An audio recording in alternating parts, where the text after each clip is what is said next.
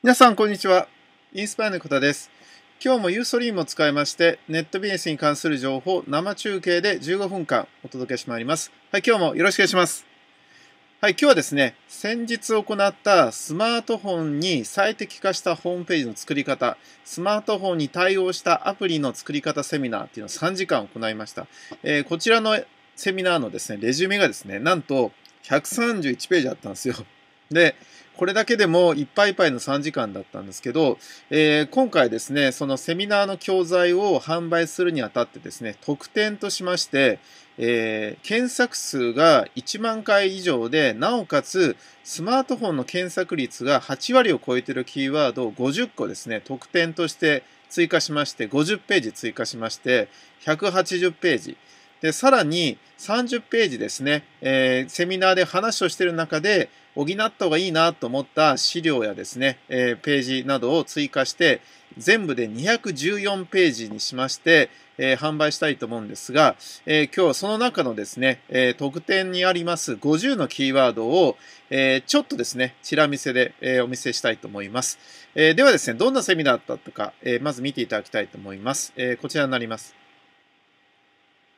はい、えー、ここにありますようにですね、えー、今回のセミナーのテーマは、数字により数年間で激変したスマートフォン最新事情ということで、いろんな統計データを中心にですね、えー、お話ししたのが、これで50ページぐらい使ったのかな。結構いろんなデータをですね、え、たくさんお見せしたと思うんですけど、これでまずですね、話しまして、えー、次に、えー、スマートフォンに特化した様々なホームページ集客法ということで、実はここの中に今日の特典が入るんですが、えー、スマートフォンの集客に対してやっぱ検索キーワードってやっぱ大事なので、えこんなに変わってますよとか、キーワードで集客、えスマートフォンで集客するのこんな方法ありますよっていう話が2番目ですね。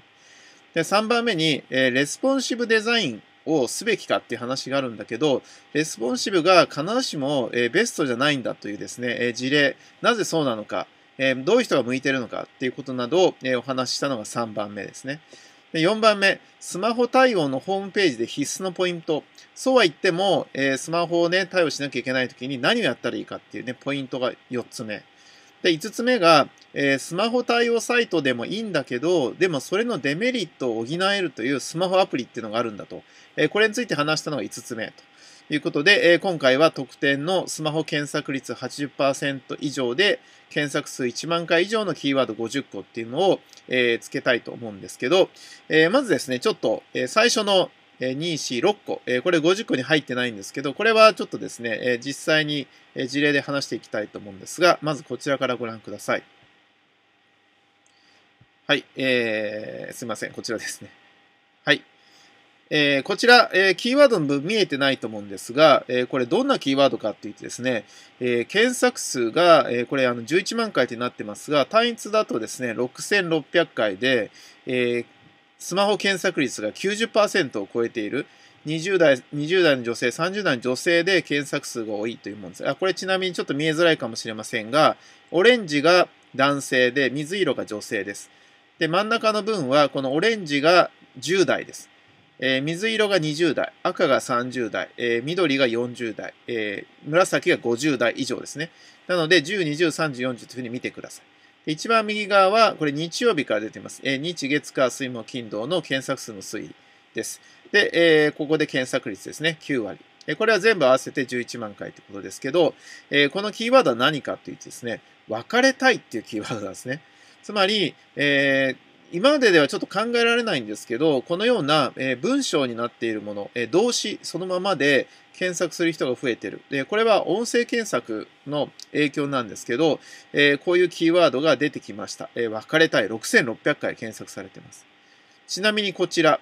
こちらのキーワードは、え、スマホ率が9割超えてますが、キーワードは整理来ないっていうキーワードなんですね。これで9900回あります。つまりこれも今までであれば生理不順とかですね、月経不順とかというキーワードを検索するんだけど、生理来ないって検索しちゃうんですね。これ音声で言っちゃうんですね。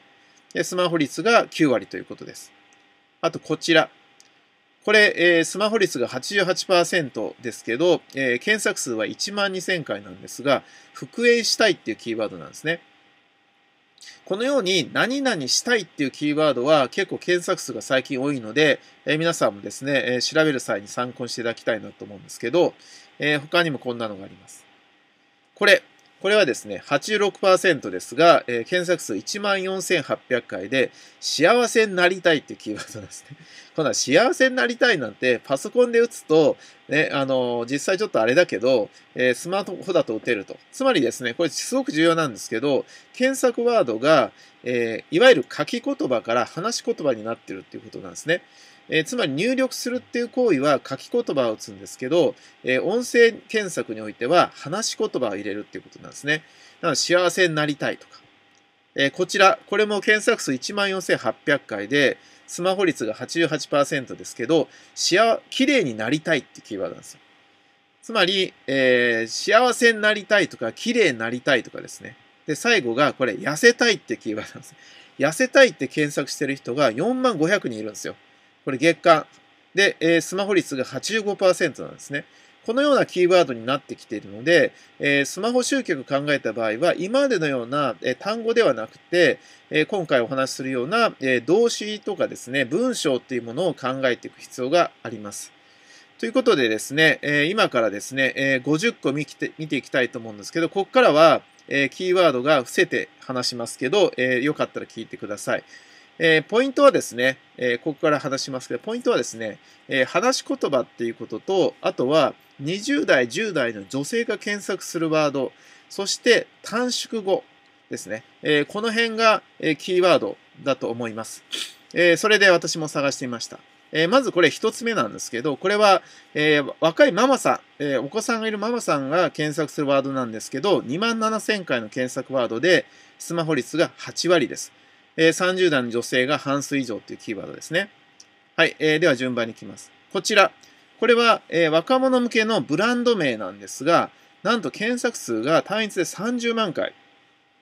あって、20代の検索数が5割を超えているっていうですね。で、ちなみにですね、男性の、えー、検索率が5割を超えていて、スマホ率が8割を超えてるっていうのはないんですよね。えー、女性しかないです。つまり男性は、あの、パソコンを持っている率が高いんですけど、女性持ってない率が高くてですね、えこのような、え得意なものはですね、え女性に出てきます。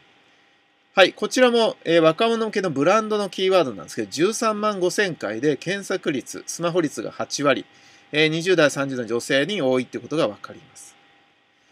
はい、こちら、えー、これはですね、若者の女性によく悩みがあるっていうですね、えー、悩みのキーワードですね。いわゆる病名に近いようなキーワードなんですけど、えー、こちら20代、30代、え中心に81%になっています。これ6万回のキーワードです。はい、こちら、え女性ならではのキーワードっていうのがありまして、それはですね、女性ならではの、その、え月に1回来るという、えものであったりとか、あとは、えー、恋愛に関するものだったり、あとは、えー、メイクとか美容に関するものだったりとか、というキーワードがやっぱり上位に入ってくるんですけど、これもその一つですね。その治療についての話、これ49,500回です。えー、こちら、えー、これちょっとね、違うジャンルなんですけど、えー、30代の女性が、えー、5割ぐらいになっているキーワードですね。14,800回で81.6%のキーワードです。はい、こちら。これはですね、短縮系になっています。つまり、もともとあった長い言葉を、えー、若者が短い言葉に、えー、縮めた言葉のですね、検索数が3万3000回で、スマホ率が8割になっているというものですね。えー、さっきも話したように短縮ワードはキーワードになります。はい、えー、次です。えこれは、え若いママさんが自分のお子さんのために検索するワードなんですが、え30代の女性を中心に検索されていて、なんと11万回のキーワードで81%になっています。はい、えー、順番に見ていきます。え、これは女性の悩み系のキーワードですね。27,000回、82%。え、これは、え、若い女性が好きなことですね。え、休みになるとこういうものを調べに行ったりするものですね。これ2万7000回で82%になっています。はい。これは、え若い女性がこういうのに憧れるというものですね。体型に関するものですけど、えー、82%、1万8000回のキーワードです。はい。こちら。これはですね、女性ならではの特有の職業のキーワードなんですけど、職業に絡むえ商品名、商品なんですけど、4万回のキーワードで20代の女性が半数になっています。40代、50代はこの商品が必要なくなります。はい、えー、これも女性ならではの月1回に、えー、まつわるキーワードで1万2000回の82%になっています。はい、こちら、えー、これはですね、あの、あるジャンル名なんですけど、若者の女性が好きなものということで、えー、4万900回のキーワードで、4万9000回のキーワードで82%。これ、これね、ちょっと特殊なんですけど、男性の検索数が珍しく多くて75%あって、しかも50代の、えー、検索数が5割に近づいている、いるにもかかわらず、スマホ率が83%というキーワードなんですね。えー、これあの、ちょっと特殊なキーワードなんですけど、えー、これについても特典ではちゃんとキーワードを明かして紹介しています。はい、あとこれ。これは若い女性が憧れるですね、えー、体あの体に関するキーワードですね。えー、20代女性が半数84%です。これも若い女性の悩みに関する病病名に関するですね、キーワードですね。7万4000回の85%です。これは、え、いわゆるですね、え、女性の、え、性に関するキーワードになってきますね。1万4000回の85%です。こちら、これも若者の女性が好きなですね、えー、いわ占い系、占いの系のキーワードなんですけど、2万2000回で85%になっています。ちなみに検索率はどんどん上がっています。これは若者が好きな、若い女性が好きな、あるブログサービスのキーワードなんですけど、85%の検索数が7万4000回になっています。はい。これ、これね、ちょっと面白いんですけど、何々になる方法っていうキーワードなんですね。つまり、あの、単一ワードじゃなくて、なんとかになる方法っていうキーワードで14,800回で85%なんですが、えー、10代がですね、25%を超えているっていう、えー、結構稀なキーワードですね。はい、えー、次。これ、すごいですね。10代率がやっぱり25%に近づいていて、しかも検索数が20万回なんですが、これは短縮語になっています。えー、短縮語ですね。長い言葉より短い言葉の方が検索されています。はい、えー、これ30代が多いですね、えー。ある特殊な事情のキーワードですね。3万回で85%です。えー、これはいわゆるですね、えー、性に関するキーワード85%の8万回です。えー、これは女性のメイクに関するキーワードです。美容に関するキーワード85万85%の2万回です。えー、これはですね、えー、恋愛に関する商売のキーワードですけど86%になっています。はい、どんどんいきますね。これは、えー、86%、1万8000回ですけど、女性の美容に関するキーワード。これも女性の美容に関するキーワードなんですが、面白いのはこれとこれを見ていただきたいんですけど、えー、20代の割合が増えて30代が減ってるのがわかりますけど、これあの同じキーワードなんですが、これよりこれの方が短縮後なんですね。短縮後の方が検索数が多い86%のキーワード。で、これも美容系です。これはあるブランド名ですね。45万回というすごいキーワードなのに、スマホ率が86%です。これも女性の美容系、2万2000回の87%。これも女性の美容系、1万2000回の87%。